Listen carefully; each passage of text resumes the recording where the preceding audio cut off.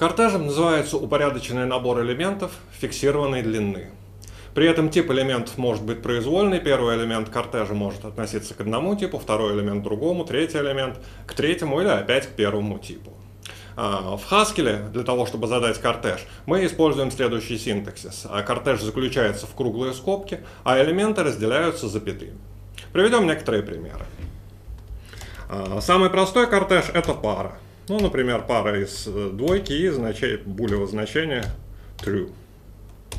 Это двухэлементный кортеж. А, пример трехэлементного кортежа тоже легко дать. Ну, давайте добавим здесь а, значение типа символьного типа char. Вот это трехэлементный кортеж.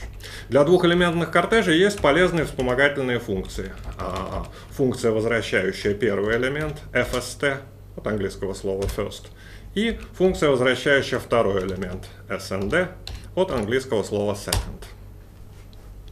А, что касается типа кортежа, то тип кортежа устроен точно так же, как его значение.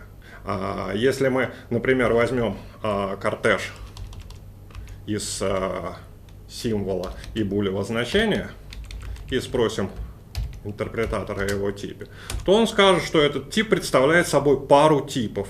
А, первый элемент этой пары это тип первого элемента, второй элемент это тип второго элемента. Ровно такая же идея а, может быть применена к кортежам большей длины. Ну, например, если здесь мы еще один символ добавим, то тип будет а, тройка char, bool, char. Что касается единичного кортежа, то единичного кортежа нет в Haskell. То есть вот такое вот выражение, тройка в скобках, представляет собой не кортеж, а просто тройка, заключенная в скобки. Скобки здесь рассматриваются как некоторый лишний декоративный элемент, а, который связан, э, возможно, с группировкой. Однако и в Haskell есть пустой кортеж, это а, вот такое вот а, выражение. А, тип этого выражения совпадает с значением этого выражения.